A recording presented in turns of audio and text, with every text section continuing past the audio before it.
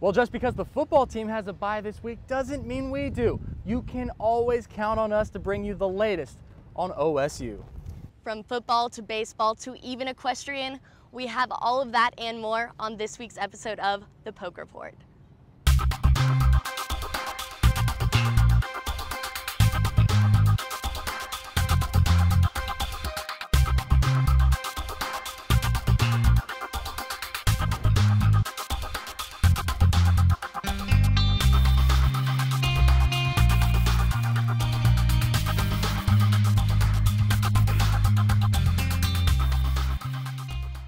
Welcome to this edition of the Poke Report. We're outside the beautiful Sherman E. Smith Training Center. I'm Curtis Quillen. And I'm Amelia Henderson.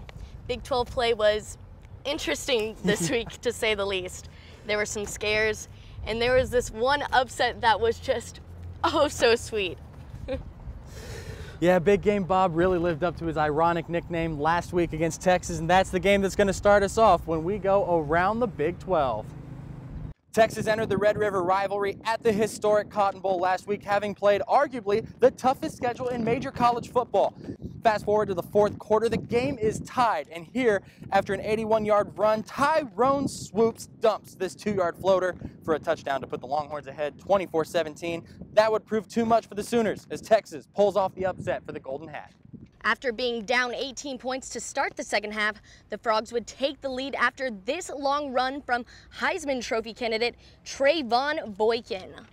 Less than a minute 30 now, the Frogs would provide the last score of the game with this 55-yard strike to Josh Doctson and escape from the Wildcats 52-45. Baylor and Texas Tech each scored 66 a week after playing each other as the Bears blew out Kansas and the Red Raiders pummeled the Cyclones. Tech travels to Lawrence today to play Kansas, and Baylor hosts West Virginia. The Mountaineers beat the Bears last year in Morgantown.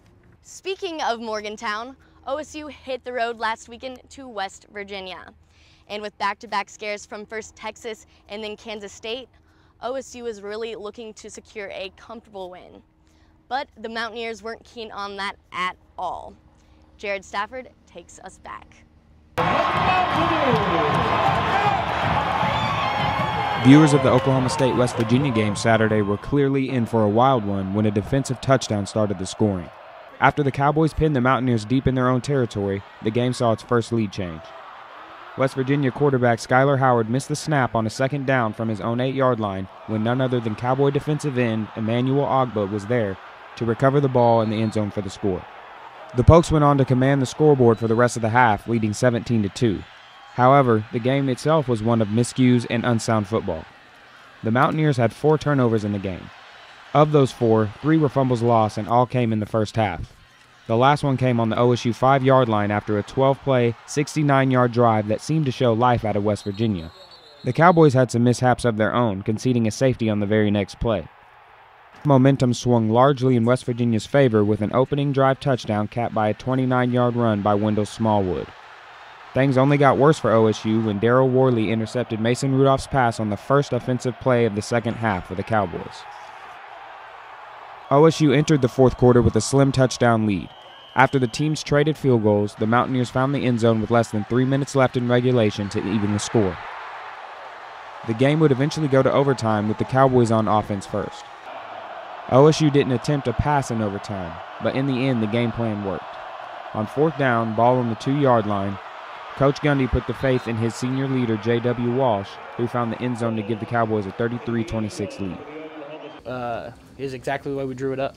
It, it, you know, we just we've we've practiced that play, we've repped it all week, and you know, just worked exactly how you wanted to draw it up. And so.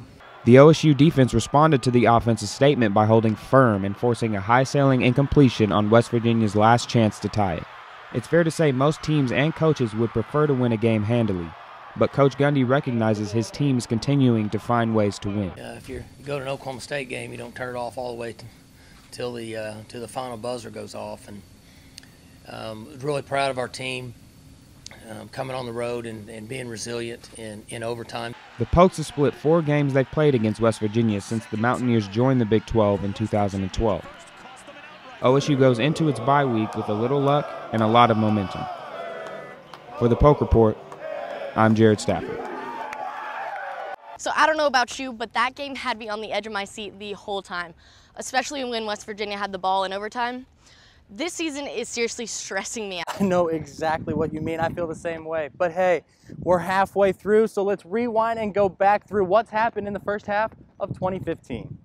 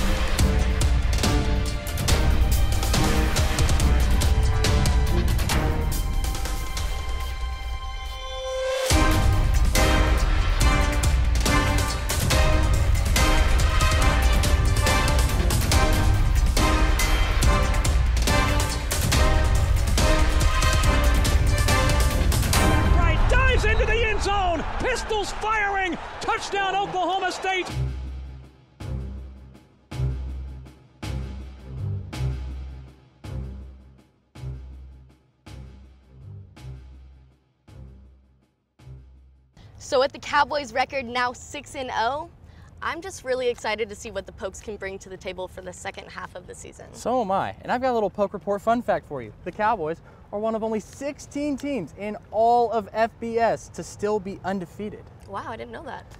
I didn't either. But all I want, I want a helmet because I want to play on this team.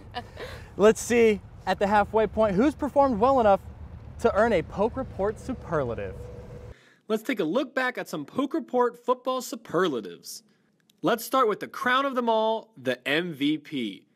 Our MVP finished the first half of the year with the Auto Nation Defensive Player of the Week, where he forced two fumbles and a defensive touchdown. Our MVP is Emmanuel Ogbah. Football. He had a lane. Ogbah is tied for fourth in the nation in sacks with seven and a half, and is top 10 in tackles for loss along with teammate Jimmy Bean.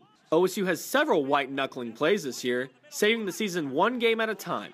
But which is the superlative winner for Play of the Year? How about a tie for all three game winning scores in our last three games? Of course, we have Ben Grogan breaking the hearts of Texas not once, but twice. Plenty of distance. And the kick is good. And then Holt Grogan giving us some deja vu, sending BPS bonkers. Play. It's plenty long and it's good. Grogan has done it again. Finally, we have J.W. Walsh with the go ahead fourth and one QB power to defeat West Virginia in Morgantown. Oklahoma State for the senior J.W. Walsh. Special Teams Play of the Year, not named Ben Grogan, is Mike Tavius Jones. If you don't know the name Mike Tavius Jones, you better learn it because this man is an absolute monster. Watch for number 24 on punt coverage. He's usually the one flying down the field making plays at 100 miles an hour. Five. Scooped up by the Cowboys. Player to watch for the second half of the year is Cal transfer Chad Whitener. He replaced Ryan Simmons after Simmons went down with an MCL injury against K State. Football. It's loose at the five yard line. It will be interesting to see how he holds up once the tougher opponents start rolling into Stillwater come November. Breakout player of the year so far is junior wide receiver Marcell Ateman. He has already eclipsed his yardage mark from last year and has proven to be a big physical receiver on the outside, winning most 50 50 balls. Aitman is second on the team in yardage and receptions, and first in touchdown receptions with three. Finally, the coveted Poke Report Award. After all of the shows this first half of the season has to offer, we must now give the award to the person who has appeared most on our show. The first ever Poke Report Award superlative goes to Defensive Coordinator Glenn Spencer. Spencer has the Pokes at first in the nation in sacks per game and tackles for losses per game. Be on the lookout for our full superlatives package at the end of the year, only on The Poke Report. Coming up when we come back to the Poke Report, we check in on OSU Soccer, who scored more times last week than Amelia made shots with Jeffrey Carroll. Oh, don't don't even start this. They probably scored more times than you even got your picks right this year. We have all of this and including an exclusive interview with Michael Freeman coming up here on the Poke Report. Stay with us. He's so mean. You know that? You should just get your, your picks right.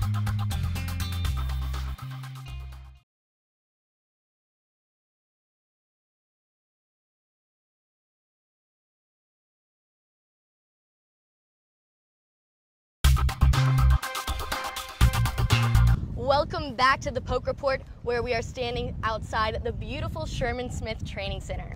I'm Amelia Henderson. And I'm Curtis Quillen. OSU Soccer's offense was finally noticeable last week when they tickled the twine repeatedly against Oral Roberts. It seemed like every time the Cowgirls had the ball, they were going to score. Carson Colvin gives us a quick recap so we can see just how that happened. Goal after goal after goal. The Cowgirls used eight of those to power past Oral Roberts last Friday night in an 8 0 victory. Oklahoma State did its best Aaron Rodgers impression spreading the ball around, each goal coming from a different Cowgirl.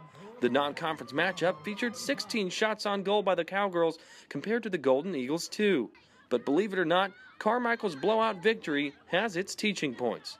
Yeah, for sure. I mean, we, we, we finished well on that day, but that's something we can continue to get better at. Uh, we've been very inconsistent in front of goal. Uh, with 8 0, we, we, we finished more shots, but there's still things we can do better for sure. Oklahoma State turned around this week, facing a conference opponent. The Cowgirls traveled to Ames last night to take on the Iowa State Cyclones. The Cyclones entered the game 0 5 in the Big 12, with the Cowgirls hoping to make that 0 6. The 538 mile trek to Ames, Iowa presents its own set of challenges. Well, it's always um, a battle when we go to Ames, you know, just traveling and the trip is so long. It's difficult, you know, we've only ever won there twice. Uh, we've had some great teams that we've taken up there, so it's a big challenge. You know, it's a turf field, uh, it's kind of an open space, there's a lot of wind usually, and it'll be cold, so it'll be a, it'll be a big challenge for our group.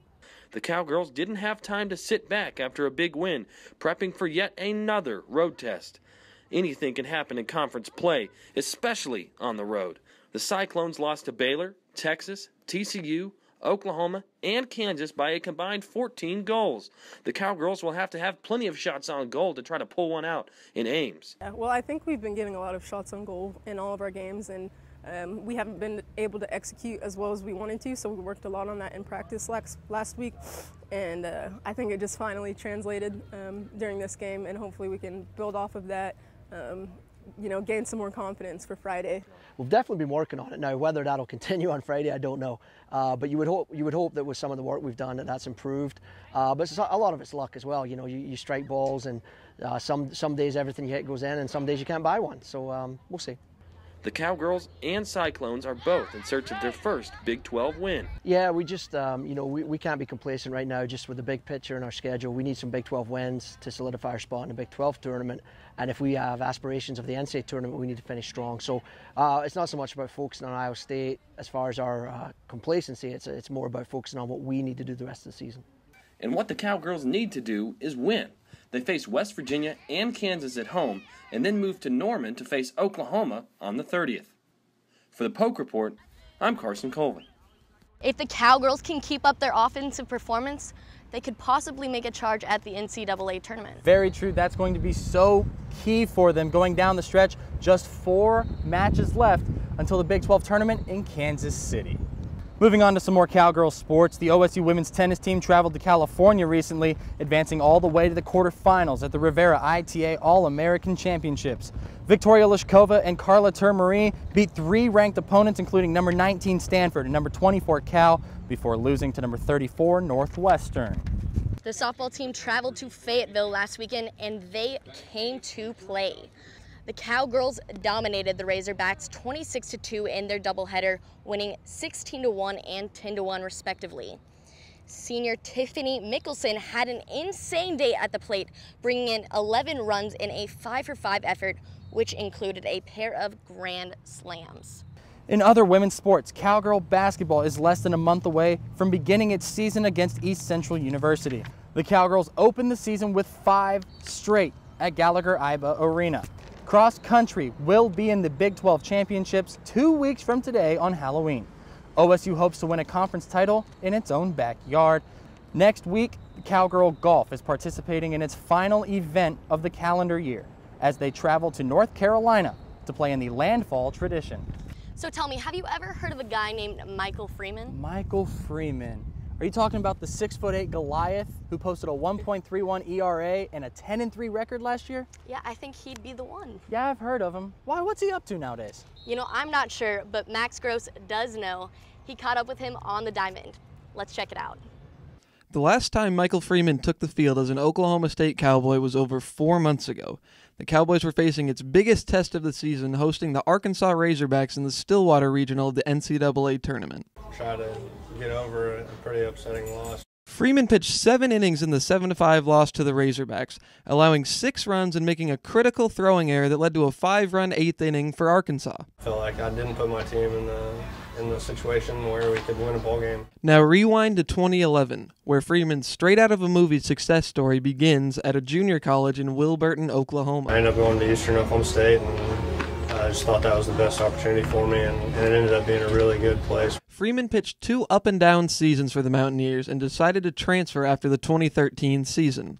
Was like, whenever I leave Eastern, I, I want to go to Oklahoma State. That would be the ideal situation. Freeman struggled in 2014, losing the only start he made, which happened to be against TCU in the Big 12 tournament championship game.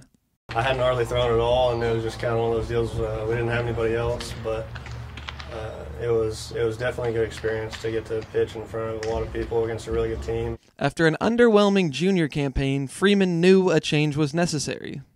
I was I was having a lot of failure, not a lot of success, so it was it was easy for me mentally to say, all right, we need to make a change. Freeman sought the help of his coaching staff, specifically his trusted pitching coach, Rob Walton. Coach Walton's the one that, that had uh, everything to do with Mike's mechanical changes. It took a lot of time and repetition to make those changes. That's a, that's a difficult thing to do at 23 years old to change the way you throw. After months of hard work, Freeman started to see progress with his new arm slot. One day in the fall, I threw three innings and struck out eight. I was like, all right, well, maybe maybe what we're doing is, is working out well. The biggest change Michael Freeman made upon coming to OSU and working with Coach Walton was changing his arm slot from a high three quarters down to a low three quarters to almost sidearm delivery to allow his pitches to get more movement. Freeman entered the 2015 season as an unknown commodity to most, but thanks to his new arm slot, he was a legend by the end of the season. Freeman finished the year with a 10 3 record and a 1.31 ERA that was best in the Big 12 among starting pitchers. He was also named Big 12 Pitcher of the Year for his incredible season. Mike was uh, the guy we built our pitching staff around, and uh, we thought Mike had a good year in him, but no one could have seen an All American season like he put together. Now, fast forward to June 9th, 2015, the second day of Major League Baseball's amateur draft. I had actually walked away from the TV, so I didn't even hear him call my name. I hear my mom, my sister yell my name, ran down, and uh, and everybody was like, "You just got drafted by the Astros." So that was it was really exciting. Freeman signed his contract quickly and then was immediately sent to Quad Cities, Iowa for his first minor league assignment. Uh, I was in Iowa for like five or six weeks. It was really humid, uh, really cool ballpark, and just kind of getting acclimated to different lifestyle and, yeah. and atmosphere that was there. After succeeding in Iowa, Freeman was called up to High A in Lancaster, California, where he only allowed one run in his 18 innings pitching for the Jethawks. I think that was pretty comparable to the same competition level that I played at Oklahoma State. Uh, really start to get a control on everything and, and figure stuff out for yourself. Freeman wrapped up his season by making two appearances for the Double-A Corpus Christi Hooks, ending his masterful 2015 campaign. I couldn't imagine you know how last year would have gone had Mike not done what he did. He was a dominant pitcher from start to finish. In one season, Freeman has changed the trajectory of his baseball life, but he still has work to do before his dream can be reached. I mean, obviously, it's not we're not where we want to be yet, but uh, we reached the next step and, and something that none of us thought was going to happen uh, a year ago. For the Poke Report, I'm Max Gross. Cowboy baseball now looks to move on to life without Michael Freeman after posting a 38 20 record a year ago. And the OSU baseball team ended their season last year against St. John's in the NCAA Regional. And with MLB playoffs in full swing, it's just a reminder that college baseball is just around the corner. Let's catch up with OSU's very own Tyler Buffett and Stillwater local Corey Hassel.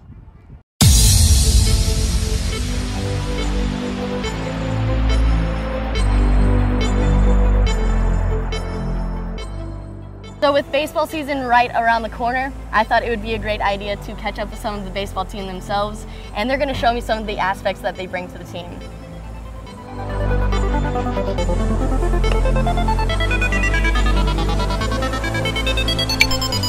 So let's start off with some of the pitches that you can throw. Tell me how many you throw and what's your favorite pitch. All right, well, I throw four pitches. I've uh, been working on every single one of them since I got here. Coach is great, been getting a lot better.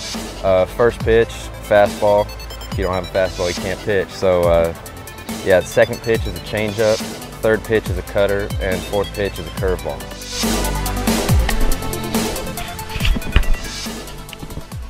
Most people, when they throw a cutter, they're going to hold it like this. But since I developed mine from a slider, I actually hold it a little bit more like this, and it just feels a whole lot better.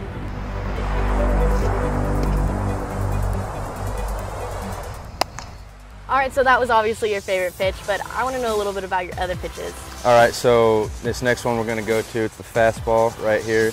Now, this is the pitch that pitchers throw most of the time. Mhm. Uh, it's the most important pitch in the game, and so when you hold it, you're going to hold it right in the middle of your fingers so that you have the most command of it. Some, some fastballs, they'll sink down, but mine happens to stay straight. So I'll show you all how to throw a fastball. All right, let's see it.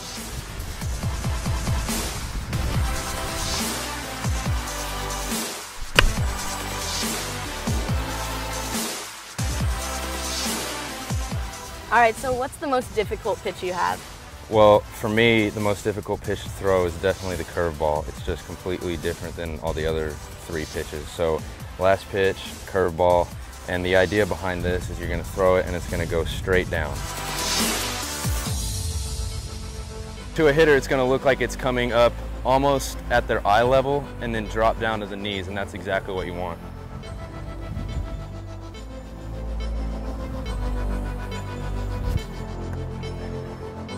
Kind of like that. Yep, you can wear all this nonsense. See how, oh my. I really want to see what you can do. So you have how many pitches? Three. Three. All right.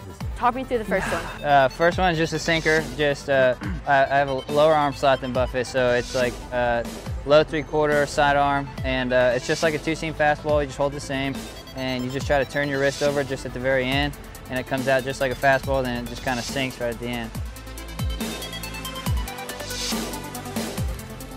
I want to see you hit one. Actually.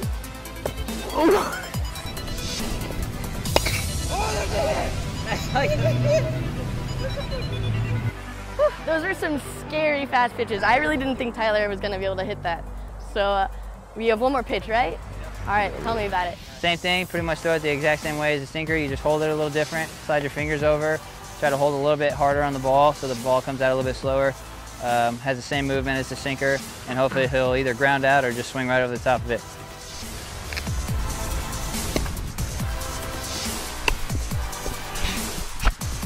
Dude, that's nasty. All right, hey, you've seen us do enough.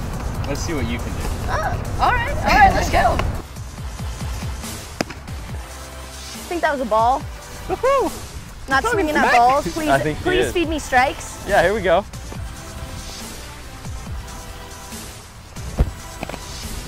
That one was a strike.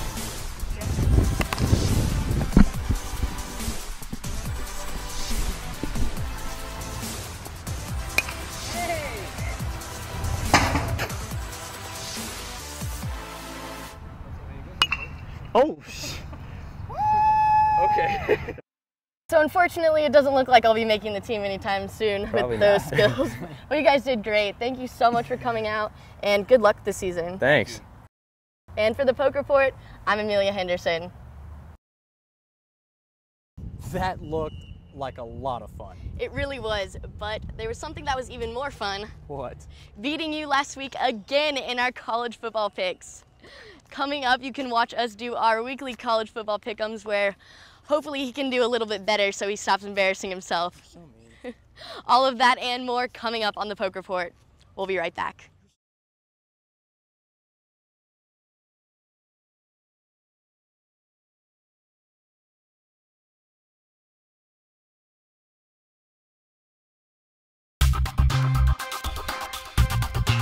I'm going with Tennessee just because I think that last year they had a really good shot to win it, and they return a lot of people. Bro, Brad Nessler saying so long as we send it to Starkville. I'm taking Alabama too. I think Nick Saban is the best coach in college football. I think Gus Malzahn and Will Muschamp are the answer in this one. I'm taking Auburn on the road. I just don't see the Ducks losing at home.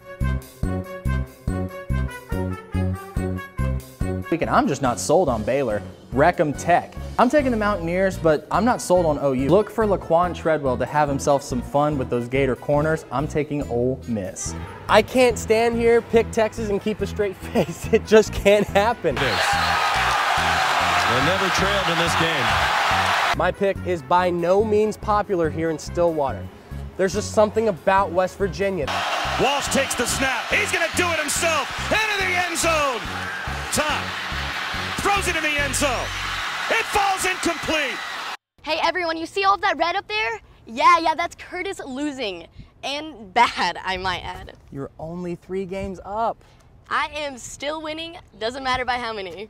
While we're digging on Curtis, why don't we go ahead and check out this gem of a tweet from one of our executive producers and professor in the OSU School of Media and Strategic Communications, Jared Johnson. While I was tweeting during OU Texas last week, Dr. Johnson won Twitter and shut me down with, quote, yeah, you've struggled a lot on your picks lately, like giving whoever you pick the kiss of death, close quote. That tweet was just phenomenal. You know, I liked it, I retweeted it, I loved it. It was awesome. Yeah, let's move on, can we? Sure, why not? Starting things off this week is a highly anticipated bout LSU and the Florida Gators. It's a Saturday night in Death Valley. Yeah, and it's a rare occurrence for LSU to lose in Death Valley, so I'm gonna have to go with the Tigers. Look, I know seldom does LSU lose at home, but Florida is coming off huge blowout wins against Ole Miss at home and last week at Mizzou. I'm going with the Gators on this one. Next game on our list is where college game day was this morning. Michigan and Michigan State are playing in Ann Arbor. Yeah, I think this is going to be a really close game, but I think Connor Cook can overcome this first hard road game of the season. So I'm going to go with Michigan State. I basically flipped a coin on this one. Sparty 6 and 0, Michigan's 5 and 1. I'm still not sure about this pick, but I'm going to go ahead and go against everything my dad taught me as a kid as an Ohio State fan, and I'm going to take the Wolverines because it looks like new coach Jim Harbaugh just has the Wolverines clicking right now, and they're getting better and better each week. I agree. And next up, OSU has a bye week this week, so we just have one more game left to pick. And that is the Oregon Washington game. You know, UW has not beat Oregon since the Supersonics left Seattle and became the Oklahoma City Thunder. In fact, it was 2003 the last time the Huskies sank the Ducks. Uh, this was a hard pick for me as well. I mean, I look back and I think Oregon did lose against Wazoo last week, but regardless of that, I'm going to go with the Ducks. You know, this could very well be the worst Oregon team we've seen in the last five, maybe 10 years. But I still think Oregon's more talented than Washington this year. Don't get me wrong. Washington coach Chris Petersen will beat Oregon in the next two or three years. But the last thing I want to do if I'm in the Pac 12 is play Oregon after a Ducks loss. I'm taking Oregon, and I think the Huskies are sleepless in Seattle tonight. So I honestly kind of hope you do better this week on your picks just to spare you some embarrassment. But at the same time, I'm fine with always winning. you know, it's hard to do worse, but you're still only three games up on me. I'm still one game above 500, and there's so much football left to play. Hey, you know what? Whatever helps you sleep at night. That's all we have for you here on the Poke Report, but be sure to check us out online at osupokereport.wordpress.com. On behalf of all of us here at the Poke Report, I'm Curtis Quillen. And I'm Amelia Henderson. And as always, go, Go Pokes. Pokes. We'll see you next week.